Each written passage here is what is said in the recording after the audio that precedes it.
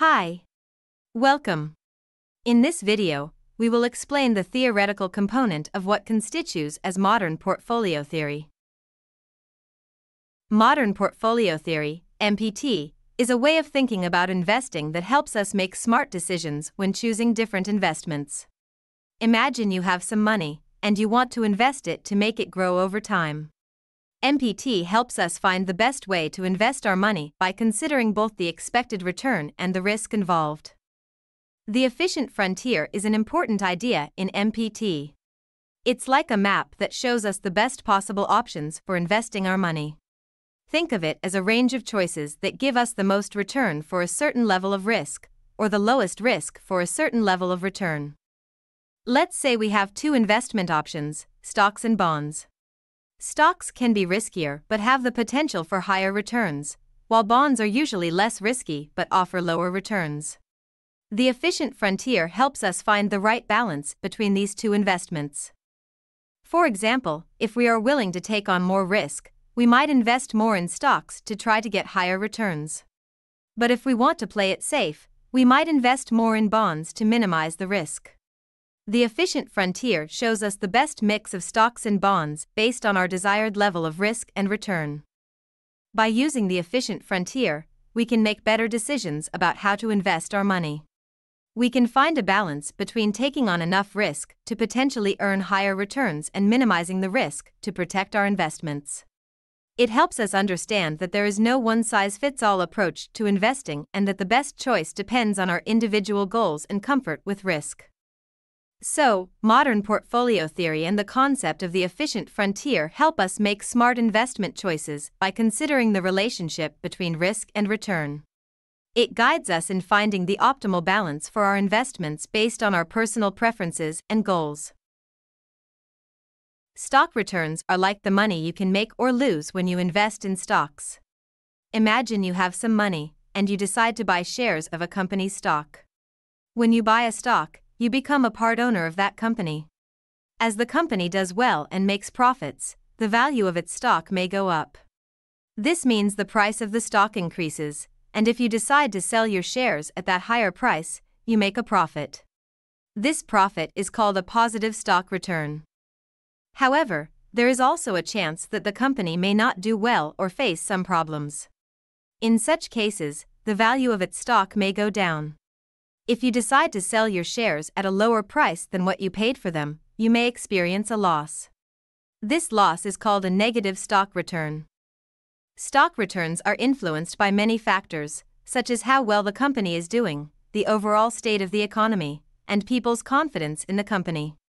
It's important to remember that investing in stocks carries some risks because the value of stocks can change over time. The goal is to make informed decisions and choose stocks that have the potential to grow and generate positive returns in the long run. It's also important to note that stock returns are not guaranteed. Sometimes the value of a stock may go up and down quickly, and it can be hard to predict these changes. That's why it's important to do research, seek advice from experts, and make investment decisions based on your own goals and risk tolerance.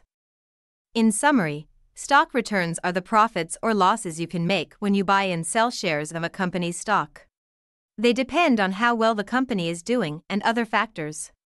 Investing in stocks carries risks, but with careful consideration and patience, it is possible to make money over time through positive stock returns. To understand how stock returns can be used to create a covariance matrix, let's imagine we have a group of friends who each have their own piggy bank. Every day, they put some money into their piggy banks, but the amount they put in can change. Some friends may put in more money on certain days, while others may put in less. Now, let's think about the relationship between the different friends' piggy banks. If they all tend to put in more money on the same days, we can say that their piggy banks move together. On the other hand, if some friends put in more money on certain days while others put in less, we can say their piggy banks move differently. In the world of investing, stocks are like these piggy banks. Stock returns are like the changes in the amount of money in the piggy banks. By looking at how these returns move together or differently, we can understand the relationship between different stocks. A covariance matrix is a special tool that helps us measure how stocks move together or differently. It's like a table that shows the relationships between different stocks. Each cell in the table represents the relationship between two stocks, and the number in the cell tells us how closely or differently they move together. To create a covariance matrix, we gather the historical returns of different stocks. We look at how the returns of one stock relate to the returns of all the other stocks. If two stocks tend to move together, their covariance value will be positive. If they tend to move differently, their covariance value will be negative or close to zero. By analyzing the covariance matrix, we can understand which stocks tend to move together and which ones move differently. This helps us make decisions about how to diversify our investments.